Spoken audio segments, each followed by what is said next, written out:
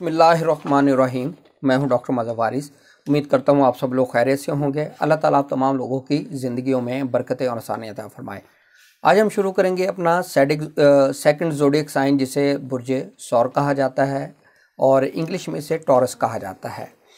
Taurus वाले अफराद के लिए अगर हम बात करें तो ऐसे अफराद जो 20 अप्रैल से 20 मई के दौरान पैदा होते हैं, उनका ताल्लुक बुरज सौर से होता है।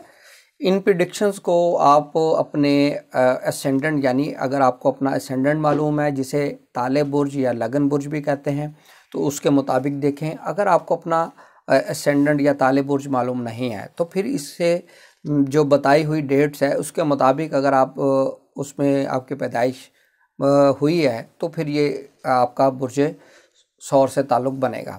यानी कि 20 अप्रैल से 20 मई के दौरान अगर आप पैदा हुए हैं तो आपका ताल्लुक़ बुर्ज सौर से होगा। और ये प्रडिक्शन आपके ऊपर एप्लीकेबल होंगी। अगर इससे मून साइन से नहीं देखना, इसको वेदिक आपका जो जोडिक साइन है, उससे नहीं देखना। ये प्रडिक्शन आपके ऊपर एप्लीकेबल नहीं होंगे।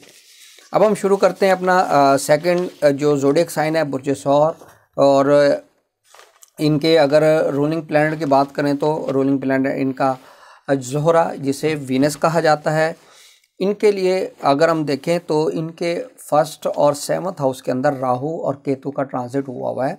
और अगर इनकी देखें तो पिछले साल से इनकी लाइफ के अंदर बहुत ज़्यादा स्ट्रगल शुरू हो चुकी है। ख़ास तौर पे इनकी हेल्थ के हवाले से अगर हम देखें इनके आ, कोई भी काम इनका वो स्मूथली नहीं हो पा रहा। और अगर मैरिज के हवाले से देखें, जिनकी मैरिज नहीं हुई मैरिज के इश्यूज़ आ रहे हैं डिले हो रहा है, या फिर ब्रेक मंगनी या ये चीज़ें ख़त्म हो रही हैं, या फिर अगर मैरिज हुई हुई है तो वहाँ पर सेपरेशन या बहुत ज़्यादा जो प्रॉब्लम्स हैं, वो क्रिएट हो चुकी हैं। मेंटली तौर पर बिल्कुल भी वो रिलेशनशिप उनका ख़त्म हो चुका है। इस चीज़ को अब हम डिटेल में देखते हैं। तो सबसे पहले अगर हम देखें तो राहु का यहाँ पर ट्रांजिट और केतु का सातवें घर में ट्रांजिट यहाँ पर असेंडेंट में राहु और सहमत हाउस में केतु मेरे एक्सपीरियंस के मुताबिक किसी भी तौर पर अच्छे नहीं होते। क्योंकि यहाँ पर आपको बहुत ज़्यादा स्ट्रगल करनी पड़ती है और डिप्रेशन टेंशन इस तरह की सिचुएशन का भी सामना करना पड़ता है।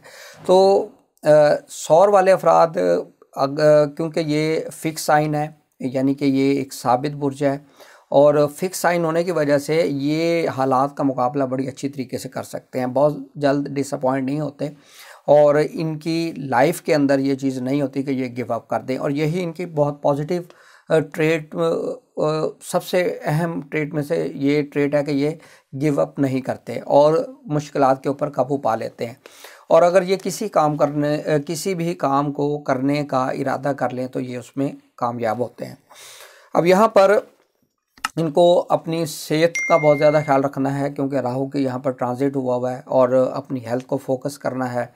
और ख़ास तौर पे इनको अपनी गर्दन से रिलेटेड अगर कोई ईएनटी e जो इश्यूज़ हैं, अगर गर्दन से रिलेटेड यानी कि जैसे कि थायराइड होते हैं, अगर इससे रिलेटेड इश्यूज़ हैं तो इसको बहुत ज़्यादा फोकस करना है, क्योंकि यहाँ पर ऑपरेट होने के सौ फ़ीसद नज़र आते हैं और उसके बाद भी क्योर होने के चांसेस कम हैं। तो इसलिए इस चीज़ को ज़रूर आपने जहन में रखना है और अगर कोई भी गले के हवाले से छोटे से छोटा इश्यूज़ भी आपको फेस करना पड़ता है तो आप उसको बिल्कुल आपने उसके ऊपर अटेंशन देनी है ताकि आपको कोई बहुत ज़्यादा प्रॉब्लम का सामना ना करना पड़े। सेकंड, इसमें कि आपके इम्पोर्टेंट नेचर के डिसीज़न। 2023 साल इस हवाले से आपके लिए थोड़ा सा आपको सब्र करना पड़ेगा। अपने फ़ैसलों के अंदर सोचो विचार करने के बाद और बिल्कुल भी जल्दबाजी में कोई भी फ़ैसला आप करते हैं तो वो आपके लिए बहुत ज़्यादा प्रॉब्लम क्रिएट कर सकता है इन फ्यूचर। तो इसलिए अपने फ़ैसलों को सोच समझ कर कीजिए। जज्बात जज्बाती फ़ैसले नहीं करने। और मज़ीद अगर हम देखें तो इनकी फाइनेंशियल पोजीशन फाइनेंशियल पोजीशन के पॉइंट ऑफ़ व्यू से देखें तो इनके सेकंड हाउस का जो लॉर्ड है, वो मरकरी मरकरी इनके जो फिफ्थ हाउस का भी लॉर्ड है और सेकंड हाउस का भी लॉर्ड है तो ये इनके फनास और इनकी लग का भी लॉर्ड मौजूद है। अब इनकी अगर हम बात करें फनास फाइनेंशियल पोजीशन के पॉइंट ऑफ़ व्यू से तो इनको थोड़ा सा एहतियात से चलना पड़ेगा, क्योंकि यहाँ पर मार्स जो है, मार्स का ट्रांजिट हुआ हुआ है इनके सेकंड हाउस में और अपने पैसे के हवाले से थोड़ा सा अपने संभल कर चलना है। जनवरी, फरवरी में ये पोजीशन रहेगी, फिर उसके बाद ये चीज़ें बेहतरी की तरफ़ जाएँगी, आपके फाइनेंशियल पोजीशन के अंदर बेहतरी आ सकेगी। इसी तरीके से अगर आपके हम बात करें एजुकेशन की एजुकेशन के पर्सपेक्टिव में भी मरकरी आपका कंबाइंड लॉर्ड है। मरकरी जो ट्रांजिट कर रहा है, इस वक्त मरकरी का जो ट्रांजिट है, वो मौजूद है आपके नाइन्थ हाउस में नाइन्थ टेंथ और यहाँ पर अगर हम देखें तो जनवरी और फरवरी, ये आपके लिए बहुत अच्छा टाइम पीरियड है। एजुकेशन के पर्सपेक्टिव में एजुकेशन में बेहतरी एजुकेशन में अच्छे मार्क्स एडमिशन मिलना, इसी तरीके से चिल्ड्रन के, बच्चों के हवाले से बहुत पॉजिटिव चीज़ें रहेंगी उनकी हेल्थ के हवाले से। और अगर मोहब्बत के मामला की बात करें तो महबूब के साथ ताल्लुक अच्छे रहेंगे। इस टाइम पीरियड के अंदर आपके लिए ये चीज़ें बेहतर नज़र आती हैं। और अगर हम बात करें जो मरकरी है, मरकरी आपका बहुत ही अच्छा फेवरेबल टाइम उनतीस जुलाई से शुरू होगा। मरकरी जो है वो एग्जाल्टेशन अपने जो बुर्ज है, उस, यानी विरगो के अंदर आएगा और यहाँ पर इसको एग्जाल्टेशन की पोजीशन में माना गया है। यानी कि बहुत अच्छी एक पोजीशन होती है। स्टार की पीक पॉइंट उसको एग्जाल्टेशन कहा जाता है, यानी शर्फ का।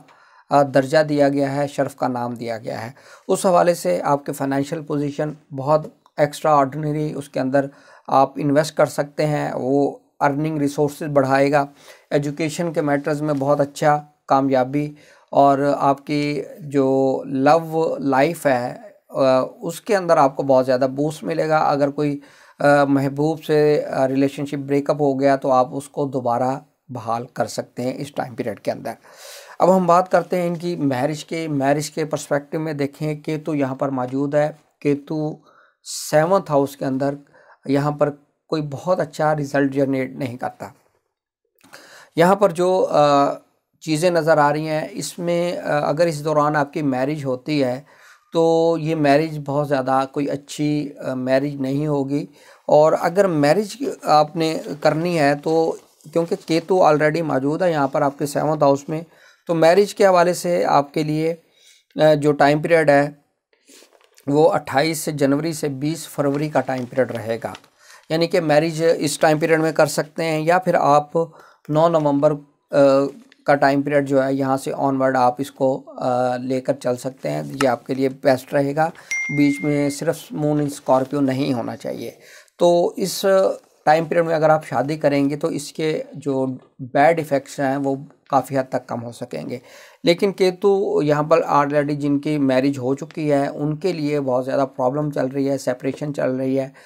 यानी कि इसकी सेपरेशन की एक सूरत हाल ये भी होती है कि अगर आपके हस्बैंड कहीं काम कर रहे हैं, वो अदर देन आपके लिविंग सिटी आपके साथ नहीं रहते दूसरे शहर में काम कर रहे हैं जॉब है उनकी या फिर वो दूसरे कंट्री में काम कर रहे हैं यानी मियाँ बीवी का इकट्ठा साथ में ना रहना ये भी एक सेपरेशन की जो है वो शेप उसको माना गया है। और केतु या राहु की सूरत में इस तरह की चीज़ें होती हैं। फ़िज़िकल जो आ, रिलेशनशिप्स हैं, मियाँ बीवी के, वो इसके अंदर ख़त्म हो जाते हैं। तो यहाँ पर इस चीज़ को आपने देखना है। अगर किसी हवाले से कोई नाराज़गी चल रही है तो कोशिश करें इन चीज़ों को ओवरकम करें, उसको ईगो की तरफ़ मत लेके जाएँ, वरना यहाँ पर ये डाइवोर्स के जो हंड्रेड परसेंट जो है, वो चांसेस बन चुके हैं यहाँ पर।